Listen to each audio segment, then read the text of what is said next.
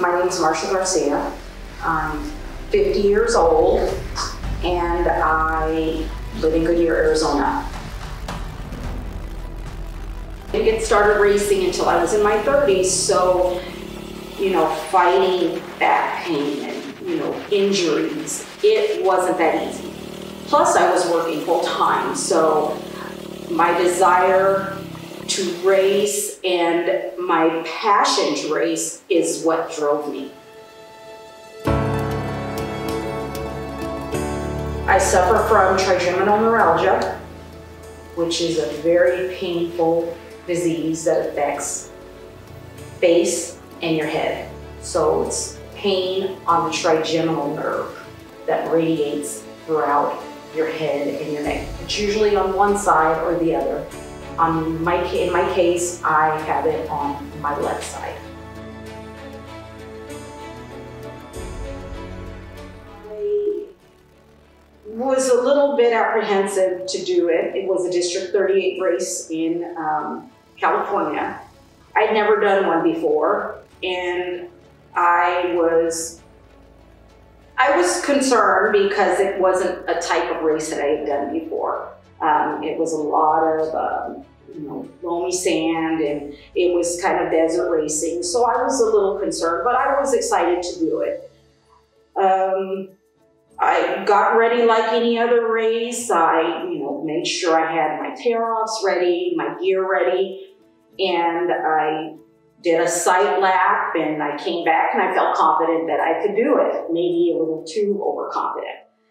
But needless to say, uh, got on the line, the flag dropped, and I was off and running. Um, I did very well the first few laps. It was a two hour race. So coming up on the last uh, half of the race, I saw a shadow. I thought it was a shadow from a bush, but it was actually a mound of dirt, which I hit at full speed. I was pinned. And I came off of the bike, and the bike landed on top of me. Um, I don't remember a whole lot after that. I just remember the paramedics saying that they were going to need to cut off my gear, which I said absolutely not because it's brand new.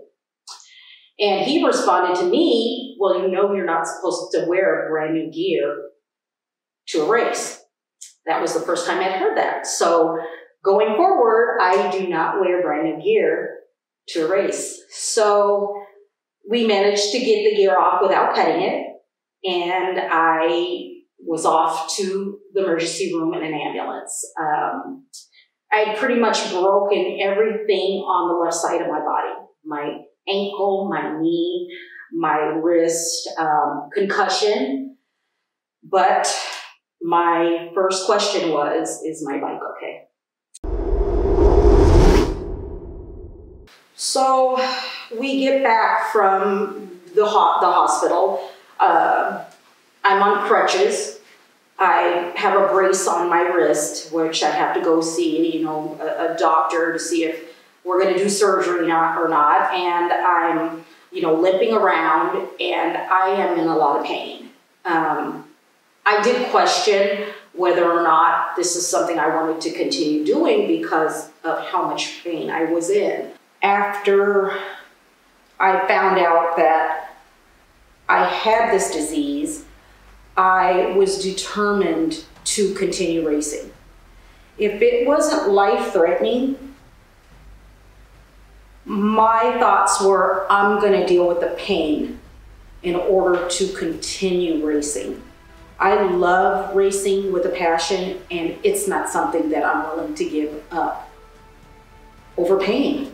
Maybe a week of having an extremely painful flare I woke up one morning and I felt well. I felt okay.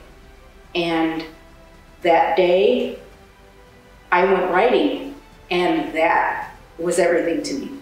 I will suffer through five days of pain just to have that one day of riding.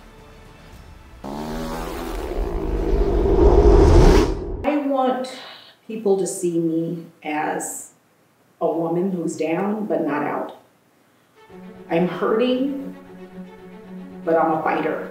And I won't stop. I'm going to keep going until I get what I want out of life. And if it's pain and racing, then I'll take it. If it's pain through racing, I'll take it. If I save one life, if I bring awareness to one person, then I have succeeded and I'm okay with that. If you are out there and you're suffering and you're listening to me, I'm suffering with you.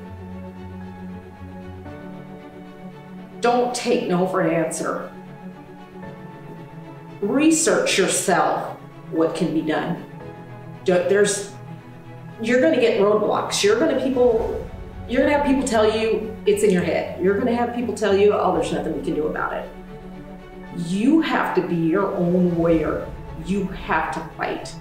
You have to fight for your life. You have to fight for some type of life that you love. And the only way to do that is to take your life in your own hands and race and do whatever you can to get the best quality of life for you. And I don't care if it means switching doctors every three months. You do what it takes to make the best of your life with this horrible disease that we all deal with. And as a trigeminal warrior, you know where I'm coming from. It, it seems like it's the end. You want it to stop. You want it to stop no matter what. But you're not going to know what tomorrow brings unless you keep fighting. Keep fighting to find a cure for trigeminal neuralgia.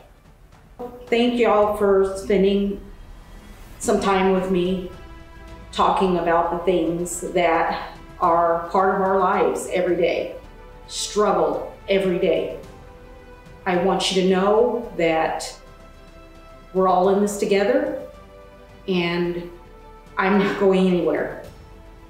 Let's, let's finish this race together. Let's find a cure for trigeminal neuralgia.